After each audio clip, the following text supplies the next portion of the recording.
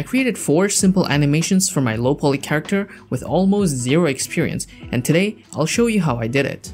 The 4 animations I created are an idle, a run, a jump up and a fall down animation. I'm still very new to animation but I'll try to explain what I'm doing and one very annoying problem that I ran into. I began by first creating the idle animation, and it was more of a warm-up before getting into the more complex run cycle. The steps are very simple. I posed the character in pose mode, and then I added keyframes at the start and end of the timeline. This keeps the exact same pose for the first and last keyframes, and I just have to add one middle keyframe with a different pose. I dragged the playhead to the middle of the timeline and changed the pose a little bit and added keyframes again. And just like that, my girl was finally alive and breathing. I am so proud of her. You know the saying that goes like, before you can walk, you gotta learn to run? That is exactly why I animated the run cycle next. This was something I was quite intimidated by, but the success of the idle animation gave me all the confidence that I needed. I found this great tutorial by Alex on Story on YouTube to create this run animation.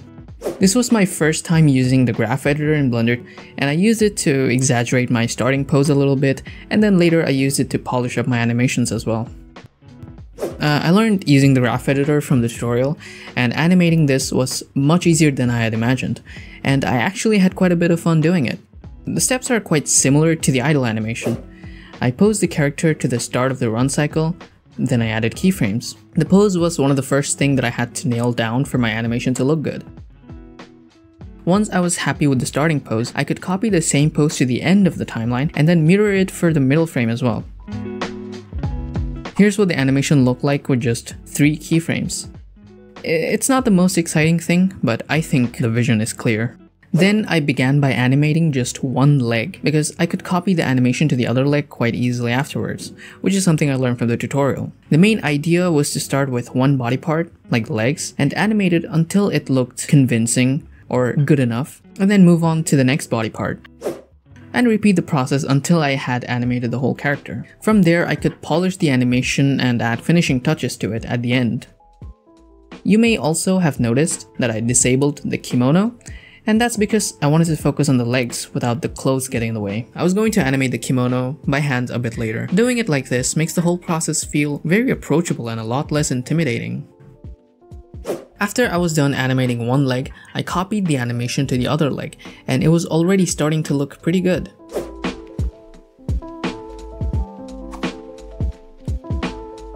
I really liked how this was turning out. With the legs looking decent, I moved on to the upper body.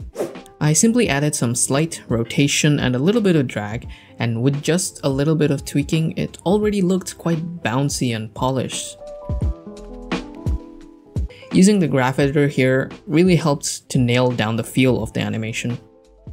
The final part of this animation was adjusting the swing of the arm. Uh, just like the body, I only added a tiny bit of drag and tweaked the path of the arm a little bit, and it ended up looking quite acceptable in my opinion. Here's what the final animation looked like so far. I only had to animate the swing of one arm because I wanted her other arm to steady her katana. The next part of this animation was the kimono. Initially, I wanted to add dynamic physics to the kimono in a game engine, but during testing, I could not get it to look right. The physics were kind of messy and I could not get the collisions to work properly either. So I resorted to animating the flow manually myself. Maybe one day I'll get the physics to work properly, but that day isn't upon us yet.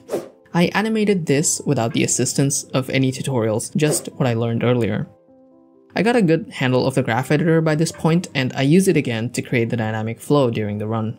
It might look quite tedious and boring, but surprisingly, it was quite intuitive and fun.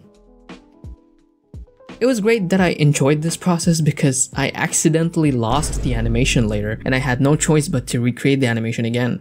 You gotta love it when that happens. Anyway, here's what the final animation looked like, along with the flowing kimono.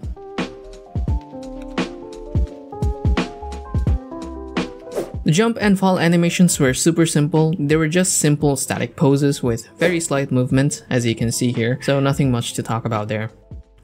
You may have realized that I haven't animated the flow of the hair the same way I did the kimono, and that is because during testing, the hair looked very acceptable in my opinion with the dynamic physics. So I decided to use that instead of manually animating it.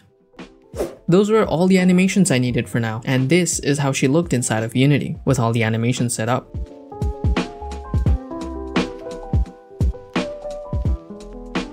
Making a game out of this is going to be a challenge for another time, but I did have some experience with making games in the past. In fact, you can watch me make some crappy games right here.